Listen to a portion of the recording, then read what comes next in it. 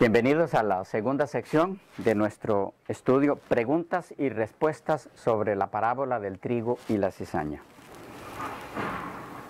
¿Cuándo es separado el trigo de la cizaña? Decíamos en la sección pasada que la Biblia llama fin del mundo, fin del tiempo, tiempo último, uh, fin de los siglos, son muchas formas en las que lo presenta. El periodo que comienza con la primera venida de Cristo y que concluye con la segunda venida de Cristo en las nubes. Pero en ese lapso del fin del mundo hay un momento específico en que el trigo es separado de la cizaña. ¿Cuándo es? Para este caso, eh, me permito compartir con ustedes una declaración de la hermana Elena G. de White, Palabras de vida del Gran Maestro, página 51, la edición digital. Dice así, Cristo ha enseñado claramente que aquellos que persisten en pecados manifiestos deben ser separados de la iglesia, pero no nos ha encomendado la tarea de juzgar el carácter y los motivos él conoce demasiado bien nuestra naturaleza para confiarnos esta obra a nosotros. ¿Cuál? La de juzgar el carácter y los motivos. No nos la da a nosotros. Si tratásemos de extirpar de la iglesia a aquellos que suponemos cristianos falsos, cometeríamos seguramente errores. A menudo Consideramos sin esperanza a los mismos a quienes Cristo está atrayendo hacia sí, hacia sí mismo. Si tuviéramos nosotros que tratar con estas almas de acuerdo con nuestro juicio imperfecto, tal vez ello extinguiría su última esperanza. ¿Ven por qué no coloca el juzgar el carácter en nuestras manos, el de otros? Dice, continúa diciendo la cita, muchos se creen muchos que se creen cristianos serán hallados faltos al final. En el cielo habrá muchos de quienes sus prójimos suponían que nunca entrarían allí. El hombre juzga por la apariencia, pero Dios juzga el corazón. Ahora escuchen. La cizaña y el trigo han de crecer juntamente hasta la cosecha.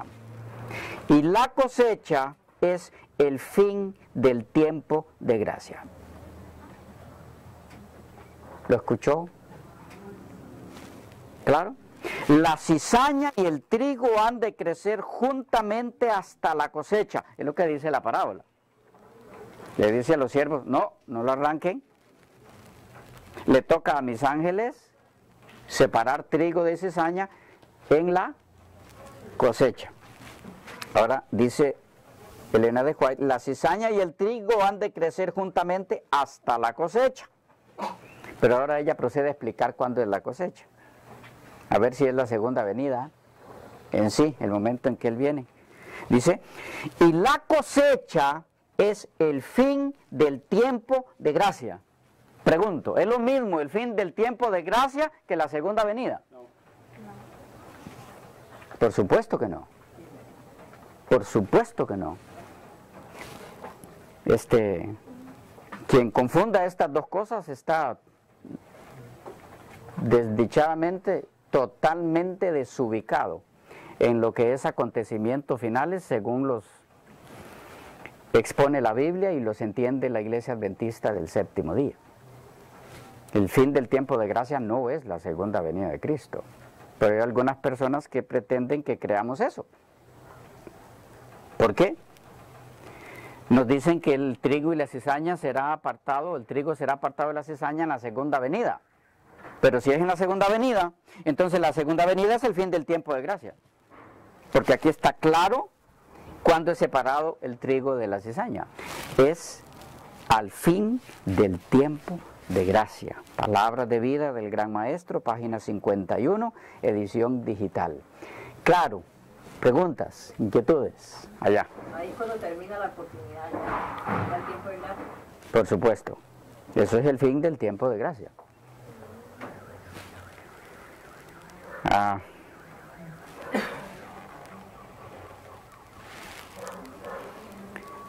Bien, continuando con esto, es importante que entendamos que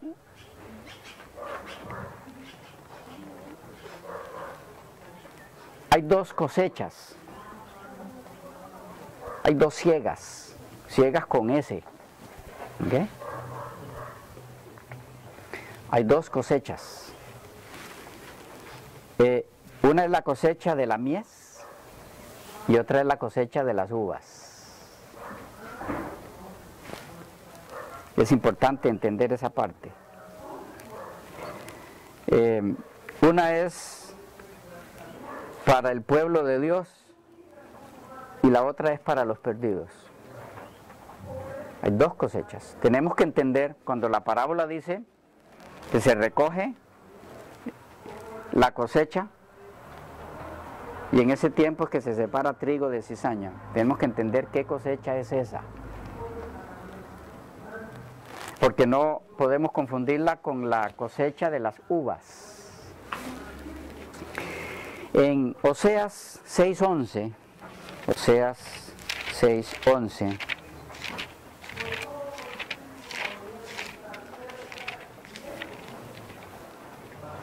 dice así,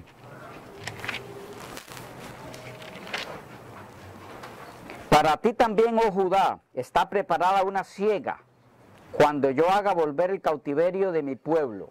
Originalmente, desde el principio, había planeada para el pueblo de Dios una ciega. Y aunque ese pueblo rechazó al Señor, del remanente de ese pueblo se mantiene su pueblo. Y sobre ese pueblo sigue habiendo una promesa de una ciega sobre la Jerusalén actual de Dios, el pueblo de Dios. Pero hay otra, otra ciega. Este, veamos en Joel 3, Joel 3. Allí después de Oseas, Joel 3, el versículo 13, la primera parte. Echad la hoz, porque la mies está ya madura. Venid, descended, porque el lagar está lleno. Rebosan las cubas, porque mucha es la maldad de ellos. Hay una mies que cosechar de personas que hacen maldad. Pero hay una mies que recoger en una cosecha buena. Hay dos cosechas. Este, ah, ¿Cuándo es esta cosecha? Hay algunas declaraciones que quisiera compartir con ustedes. Discurso Maestro de Jesucristo, página 78, Elena G. de White. El carácter es la gran cosecha de la vida vaya usted atando algunos cabos por sí mismo. Cuando tenga todo el paquete junto lo va a entender mejor. Página 18. Discurso Maestro de Jesucristo, página 7-8. El carácter es la gran cosecha de la vida.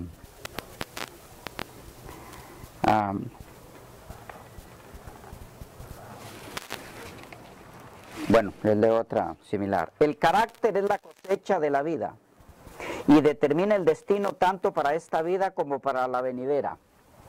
Dios nos cuida, página 341, edición digital. Debo decirles que hay cualquier cantidad de citas en esta línea. La formación del carácter es la cosecha. Yo no voy a leerles todas las que hablan de eso, pero sí algunas. Eh, le leo otra. Eh, conflicto de los siglos, todas son edición digital. 669. Citada en eventos, página 191, eventos de los últimos días. Dice, así como el rocío y la lluvia caen al principio para que la semilla germine, y luego para que la cosecha madure, se da el Espíritu Santo para que lleve a cabo a través de sus etapas el proceso de crecimiento espiritual. Así que estamos hablando de una cosecha que tiene un proceso. La maduración del grano, sigue diciendo la cita, representa la terminación de la obra de la gracia. ¿Pueden captarlo ahí? ¿Cuándo es que se debía recoger el trigo? Separarlo de la cizaña cuando hubiera madurado. Elena de Juárez ya nos había dicho, esto es cuando termina el tiempo de gracia. Ahora dice, la maduración del grano representa la terminación de la obra de la gracia de Dios en el alma. ¿Cuándo es eso? ¿Cuándo termina la obra de la gracia de Dios en el alma? Cuando el carácter está transformado, cuando ya se acabó el tiempo de gracia. Dice, la maduración del grano representa la terminación de la obra de la gracia de Dios en el alma. Mediante el poder del Espíritu Santo se ha de perfeccionar el carácter. Algunos le tienen pavor a esta palabrita. Pavor, espanto. Tiemblan cuando escuchan esta palabra. Ah, mediante el poder del Espíritu Santo se ha de perfeccionar en el carácter la imagen moral de Dios. Debemos ser totalmente transformados a la semejanza de Cristo. ¿Cuándo? Por acabado el tiempo de gracia, porque allí maduró el grano. ¿Notan cómo de diferentes formas ella nos dice lo mismo? ¿Cuándo es la cosecha en la que se recoge el trigo separándolo de la cizaña? Durante el tiempo de gracia. Durante el tiempo de gracia. Y si vamos eh, a una reducción un poquito más de este periodo, todavía es más específico. Es durante el juicio de Dios.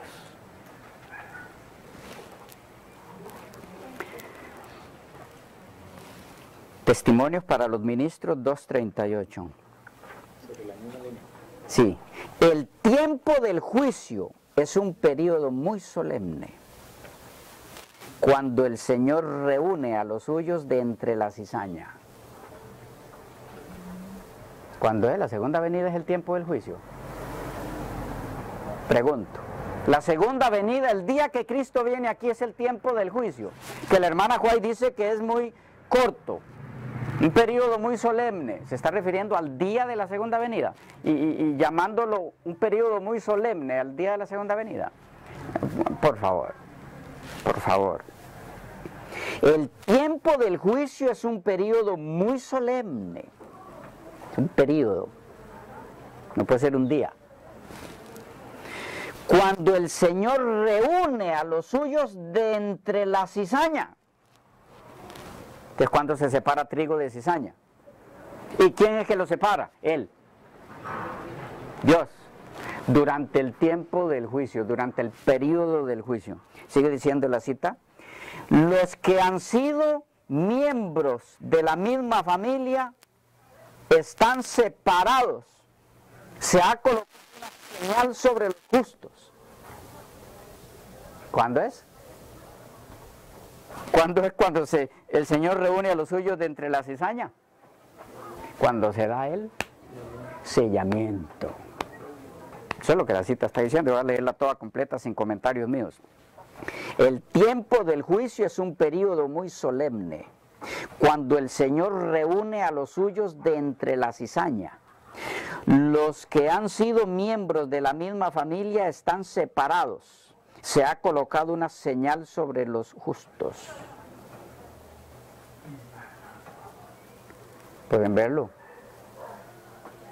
El Señor separa trigo de cizaña durante el periodo del sellamiento.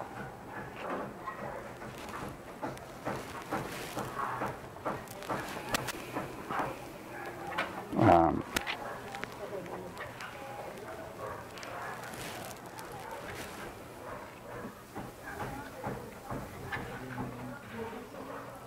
El juicio fue, empezó en 1844. 1844 empezó el juicio investigador. ¿Ya?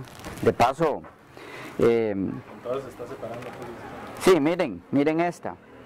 Maranata, el Señor viene, página 147. Estoy escogiendo entre varias que tengo aquí por no hacerles esto muy largo. Maranata, el Señor viene, página 147. Los hombres están siendo reunidos en atados, listos para ser consumidos por los fuegos de los últimos días. ¿Que aquí de qué parte está hablando? De la cizaña, no del trigo.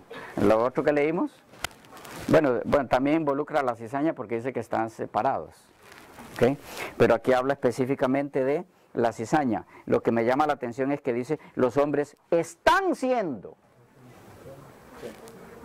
Estamos en ese periodo del juicio. Es que cuando ella habló, estábamos en el periodo del juicio, todavía, y seguimos estando. Los hombres están siendo reunidos en estados, listos para ser consumidos por los fuegos de los últimos días. Entonces, ¿cuándo es que el Señor recoge la cizaña? O la ata. Durante el periodo del juicio, Empezó en 1840. que empezó en 1844. Termina en el tiempo de gracia. Termina cuando acaba el tiempo de gracia. Ah. Escucha este otro. Consejo sobre la salud, página 527. El enemigo ha utilizado la cadena de la dependencia para juntar a los hombres, de depender unos de otros, hablando de los gremios, ah, ¿cómo se llama esto? De Sindicato. sindicatos. Consejo sobre salud, página 527. De paso, debo decirles que habla muy fuerte sobre eso. El enemigo ha utilizado la cadena de la dependencia para juntar a los hombres. Se han unido para destruir la imagen de Dios en el hombre, para contrarrestar el Evangelio, pervirtiendo sus principios. Están representados en la palabra de Dios como atados en gavillas para ser quemados. Satanás está uniendo sus fuerzas para perdición. Dice que Satanás los está atando. De paso, Él es el que los ata. Porque Él es el destructor. Es otro tema, ¿verdad? Es otro tema.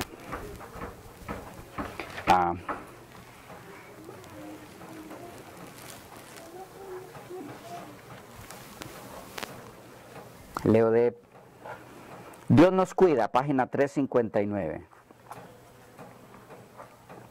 Se procurará imponernos la observancia del falso día de reposo. ¿Cuándo será eso? Ley dominical. Ahí estamos claros. Se procurará imponernos la observancia del falso día de reposo. Los que hayan cedido paso a paso a las exigencias mundanales y se hayan conformado a las costumbres del mundo, cederán a las autoridades.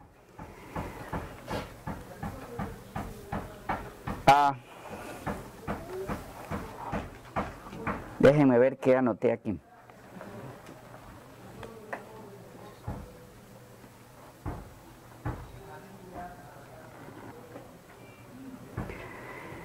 Cederán a las autoridades antes que someterse al ridículo. Leo la frase completa. Los que hayan cedido paso a paso a las exigencias mundanales y se hayan conformado a las costumbres del mundo, cederán a las autoridades antes de someterse al ridículo. Los insultos, las amenazas de encarcelamiento y la muerte. La contienda será entre los mandamientos de Dios y la de los hombres ley dominical es el contexto, ¿verdad? Sigue diciendo la cita. En este tiempo, ¿qué tiempo? Del que viene hablando. La ley dominical. En este tiempo el oro será separado de la escoria en la iglesia. Cuando Cristo venga. La ley dominical es cuando Cristo venga. En este tiempo de la ley dominical, en este tiempo el oro será separado de la escoria en la iglesia. La verdadera piedad se distinguirá claramente de la apariencia y del oropel.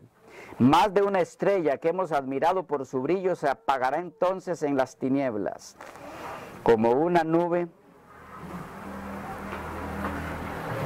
será llevado por el viento, aún en los lugares donde vemos solo eras de rico trigo. Todos los que no lleven los ornamentos del santuario, perdón, todos los que lleven los ornamentos del santuario, pero no están vestidos de la justicia de Cristo, aparecerán en la vergüenza de su desnudez. No está hablando de la segunda venida. Está hablando del tiempo en que se impondrá la observancia del falso día de reposo. Entonces, hay muchas citas más sobre esto, pero estoy haciéndole la compilación para que las tengan allí todas. Y aquí en, la exposición solo estoy, estoy dándoles algunas. Es durante el periodo del juicio. ¿Ok? Si vamos más atrás, ¿recuerdan? La separación del trigo y la cizaña es en el tiempo final. Pero el tiempo final es desde la venida de Cristo, la primera, hasta la segunda. Pero hay un periodo más específico en el que será la separación. Es durante el juicio, que va de 1844 hasta el fin, hasta el cierre del tiempo de gracia. Eh, en ese mismo contexto, Joya de los Testimonios, tomo 2, en el contexto de ley dominical para la separación de trigo y cizaña, dice, De los Testimonios, tomo 2, página 181, quien quiera que obedezca el cuarto mandamiento, hallará que se traza una línea de separación entre él y el mundo. El sábado no es un requerimiento humano, sino una prueba de Dios. Es lo que distinguirá a quienes sirven a Dios de los que no le sirven. Y acerca de este punto se producirá el último gran conflicto de la controversia entre la verdad y el error. La cizaña no debe ser arra- arraigada o arrancada por los hombres entre el trigo, porque los hombres no la pueden distinguir. Es lo que dijo el Señor. Solo la pueden distinguir los ángeles. Pero aquí está claro cuándo es que se distinguirá el trigo de la cizaña. Es en la ley dominical. Eh, Consejo sobre salud, página 233. El sábado ha de ser siempre la señal que distinga a los obedientes de los desobedientes. Mensajes para los jóvenes, 389. El Dios eterno ha trazado la línea de distinción entre el santo y el pecador, entre los convertidos y no convertidos. Las dos clases no se mezclan imperceptiblemente como los colores de un arco iris. Ahora se nos está insistiendo en que debemos entender que las dos clases deben mezclarse imperceptiblemente hasta que Cristo venga. Aquí dice, el Dios eterno ha trazado la línea de distinción entre el santo y el pecador, entre convertidos y no convertidos. Las dos clases no se mezclan imperceptiblemente como los colores de un arco iris. Antes son distintas como el mediodía de la medianoche. No es seguro para el pueblo de Dios trabar relaciones íntimas con aquellos que conocen la verdad pero no la practican.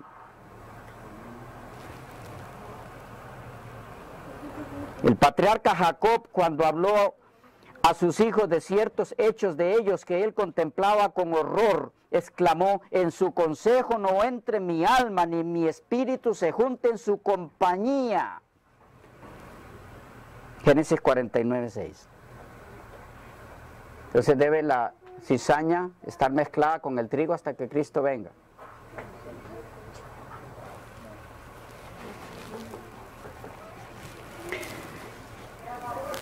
Mensajes Selectos, tomo 3, página 241. La línea de separación entre los que sirven a Dios y los que no le sirven debe permanecer siempre clara. La diferencia entre los creyentes y los incrédulos debe ser tan grande como la que hay entre la luz y las tinieblas. Cuando los hijos de Dios asumen la posición de que ellos son el templo del Espíritu Santo y Cristo mismo habita en ellos, lo revelarán de tal manera en espíritu, en palabras, en acciones, que habrá una distinción inconfundible entre ellos y los seguidores de Satanás. Entonces se mezclan hasta que Cristo venga.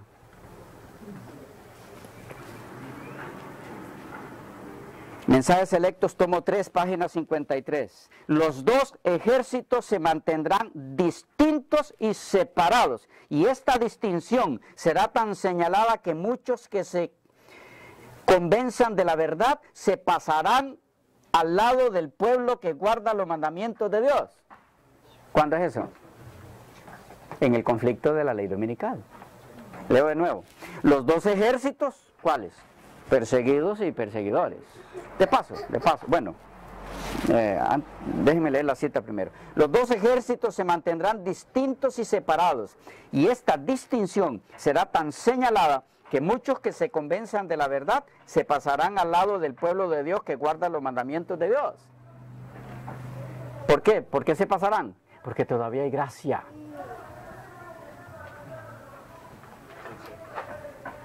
¿Ya? Les decía que de paso, los dos ejércitos, perseguidos y perseguidores. ¿Cómo es que perseguidos y perseguidores se mantienen juntos hasta que Cristo venga? Usted puede acomodar eso en su mente. Los perseguidos andando con los perseguidores en tiempo de persecución. ¿En qué mente puede caber semejante concepto? Porque para estar juntos cuando Cristo venga tienen que estar juntos en lo que viene antes de la, de la segunda venida, que es la persecución. Estarán juntos, perseguidos y perseguidores. ¿Se, se dan cuenta de lo que el diablo hace decir a algunas personas? Las incongruencias. eh, ¿Hasta dónde puede llevar a una mente humana para ofender a Dios impidiéndole razonar de causa a efecto? El torcer la palabra de Dios para conseguir propósitos personales. Dos ejércitos distintos. Muchos expresan una verdad a medias. Jesús y sus discípulos se reunían en el templo. Nosotros encontramos que, ¿qué pasó después? No se reunieron más en el templo. Eran perseguidos. Así es. Hay una, una declaración que creo la tengo aquí, si no me equivoco. Permítanme ver si están entre estas.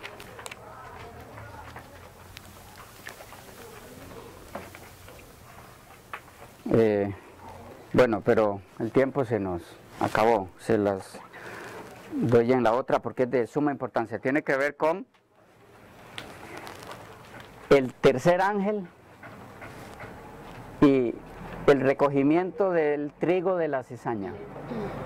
Es una cita sumamente clara de cuándo es que se da esa separación. Lo vemos en la próxima sección.